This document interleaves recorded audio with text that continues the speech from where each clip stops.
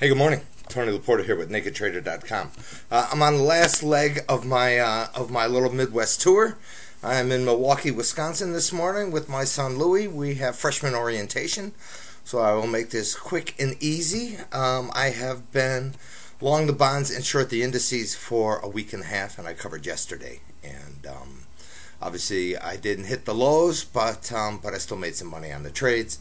And the only thing I really have running into um, running into today's opening is I'm long the beans, the wheat, and the corn. Um, I was a little bit disappointed with the way the bonds firmed up after hours last night and then opened lower. So the bonds are basically down a couple of ticks. I've been touting a long bond for quite a while. You know, now what? I mean, honestly, now what? So um, I'm going to sit on the sidelines Along my grain markets, I uh, I had I didn't have any signals last night. My trading system has been red hot and uh, lost a little bit of money in the copper yesterday, and it's been a very very good run. And I always preach about making money is the easy part, keeping it is the game. Um, I'm going to keep it.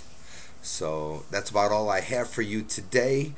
Uh, mind your eye. I mean, you would think that stocks are going up. I mean, they all love it. I don't like the market, but uh, but I'm not going to sell it here. I'm not going to sell it um, with two weeks before July. I'm not going to sell it going into the worst trading month of the year, August. So you decide what you want to do. I'm going to sit on the sidelines and enjoy all the money I've made.